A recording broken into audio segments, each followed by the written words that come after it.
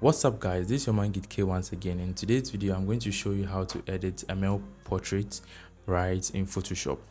So without talking much let's dive right into the video.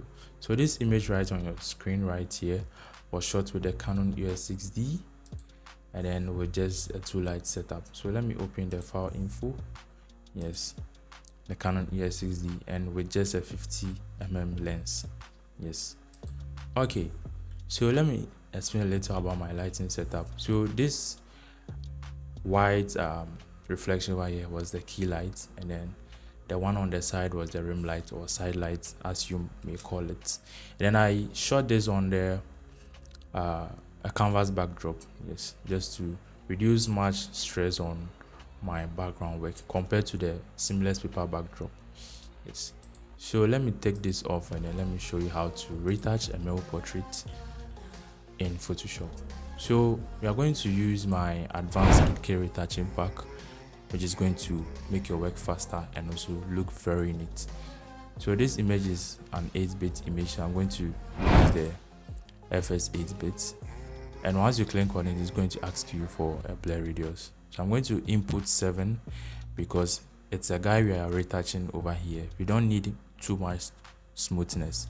So i'm going to click on ok and we want more textures as well yes.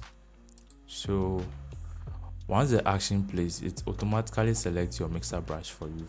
You can apply my brush settings over here.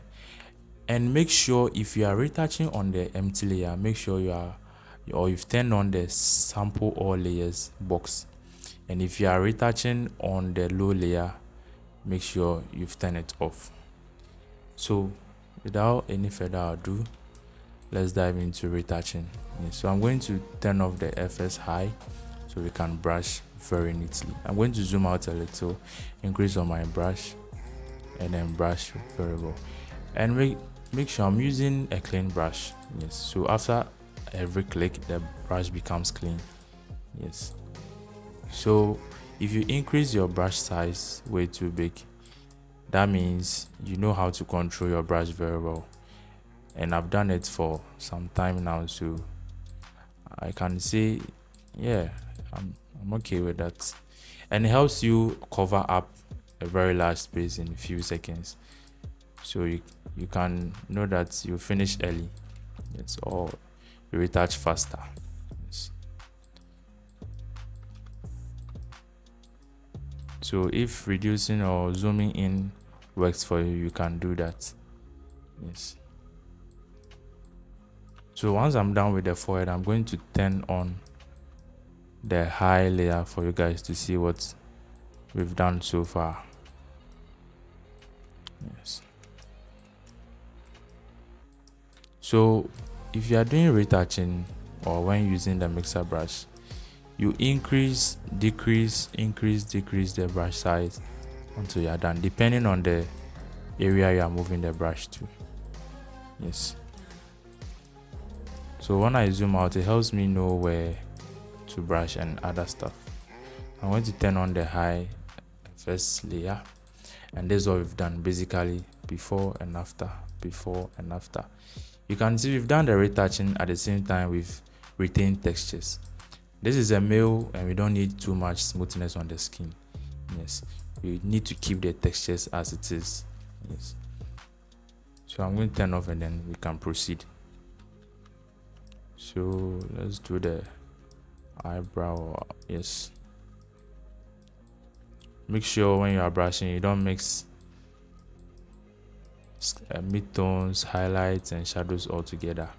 Brush them separately and then mix out the transition between them. That is all. So when i'm getting to detailed places i zoom in so i take my time to do it.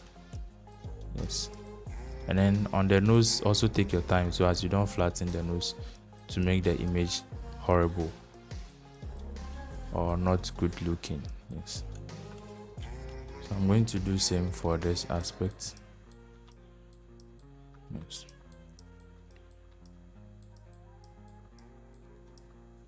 So if you want me to do more retouching videos you guys should comment down below.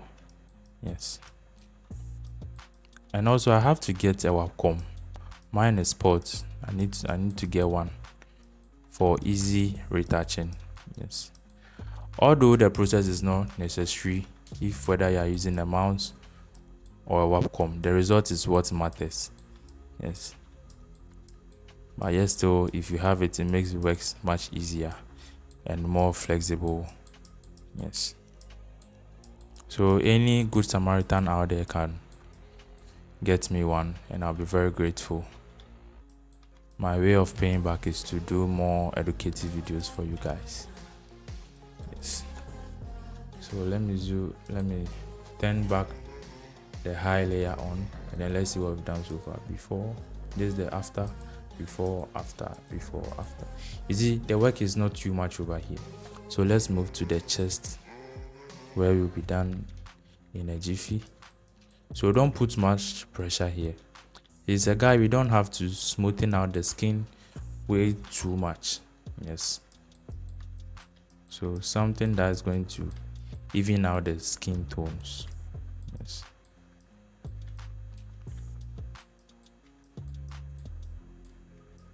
Yes and then you do it carefully.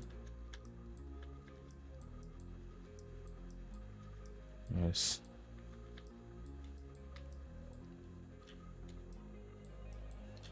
and this is looking good. All right so let me show you the before and after. Before and after before and after before and after. All right once you are done using the brush let's go into using our lasso tool to take out the brush strokes from the skin. So i'm going to use a feather of 18 pixels so that the edges won't be that sharp so i'm going to select where i want to apply the gaussian blur to. And also when you are using the lasso tool always stay away from edges don't get too close. Yes.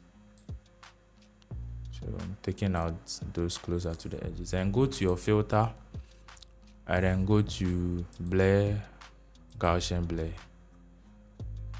Sorry i've done a mistake over here. I'm going to add this aspect rather yes. Go to filter again blur gaussian blur. And then you input a radius of 20 yes 20 works for me. You can go overboard to about 25 yes. If that works for you. Yes. So i'm just softening the brush strokes on the skin. And then even out the retouching as well